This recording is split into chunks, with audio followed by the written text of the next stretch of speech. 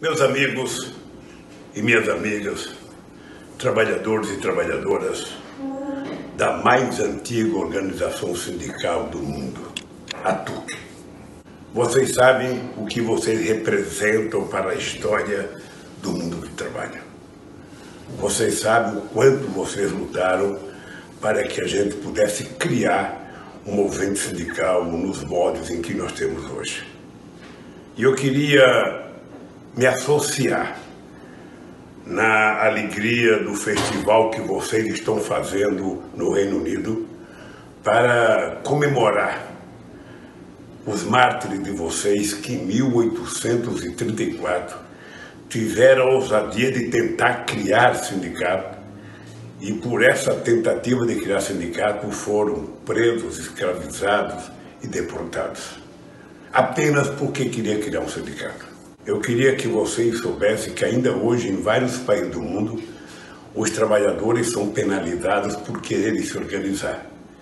E eu espero que a partir desse festival vocês consigam eternizar essa luta de vocês para que a gente possa ter isso como exemplo para o momento político e sindical que estamos vivendo. Nós sabemos que existe uma tentativa de destruição do movimento sindical no mundo inteiro nós sabemos das reformas trabalhistas feitas em quase 165 países, em quase todas elas. Os trabalhadores perderam coisas conquistadas no século passado. Eu acho que a experiência do povo do Reino Unido, a experiência de luta dos trabalhadores, e eu que tive a oportunidade de participar nos anos 80 de uma greve aí na Inglaterra, uma greve do pessoal que trabalhava em mina de carvão contra o governo da Margaret Thatcher, sinto-me honrado de poder dirigir uma palavra nesse festival memorável que vocês estão fazendo.